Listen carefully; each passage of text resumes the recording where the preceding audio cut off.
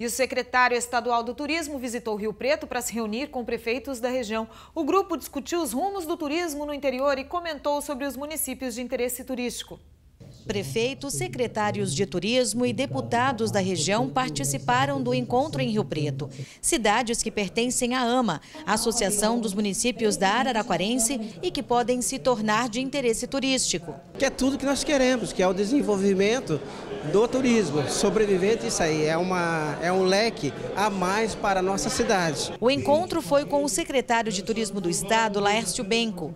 A intenção é nomear 140 municípios de interesse turístico no estado. Na região aqui da Alta Araraquarense, da, da região Araraquarense, nós temos uh, uh, vários municípios que podem se tornar por conta das belezas naturais, por conta da água, que é o melhor produto, uh, o melhor produto turístico do mundo. Então nós temos muita coisa boa para atrair os turistas aqui para toda a região. Quem enquadrar vai ter realmente uma boa verba, um bom recurso que pode ser revertido em prol da população dos municípios. Em todo o estado, 70 cidades são consideradas estâncias turísticas. O MIT é o primeiro passo para que o município consiga esse título. Os prefeitos vão receber uma verba anual de 550 mil reais para investir e assim fomentar ainda mais o turismo na região. Nós temos lá de fato um potencial grande em, em torno do turismo de pesca, pesca esportiva, é, nós temos uma tradicional festa do peão muito regional lá que todo mundo vai participa e o nosso carnaval.